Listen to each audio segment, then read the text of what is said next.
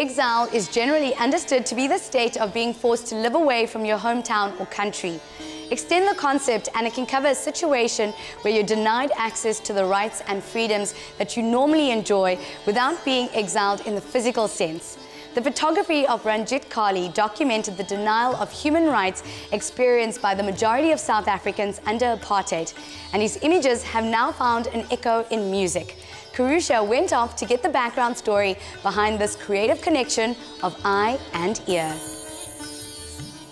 Born in 1925, Ranjith Kally left school at the age of 14 to help support his family, and he was 21 when he bought his first camera at a jumble sale. He spent the next eight years teaching himself the art and craft of working with light and then became a full-time photographer. Over the next five decades, he created thousands of images. But it was the sensitivity and empathy of his vision rather than the volume of his output that came to be celebrated during his life and after his passing.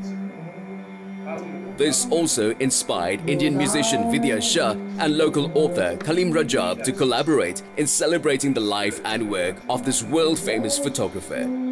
Kalim, welcome to Mela. Thank you for chatting with us. When did you meet the late Ranjith Kally? Ranjith has been a family friend of ours. Um, I'm probably the third generation of my family who've, uh, who've loved him, who's worked with him, uh, and have come to know him very well.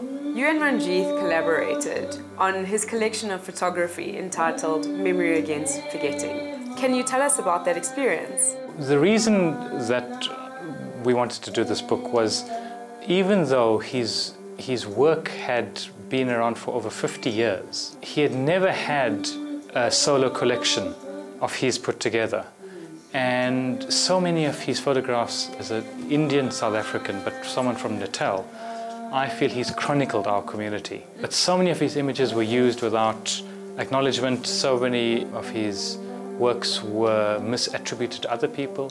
And so I really wanted to do this for him.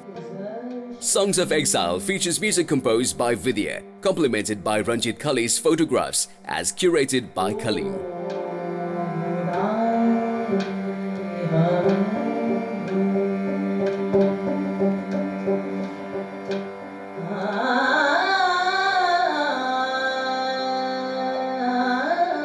Trained initially in Carnatic music, Vidya Shah has become a leading musician, composer and vocalist, as well as being a committed social activist.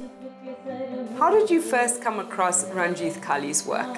Kalim had heard me do this uh, performance on the gramophone era, and since then we'd been in touch because we had similar interests. And then when he told me about this book, I just felt that it's very important to let more people know about it.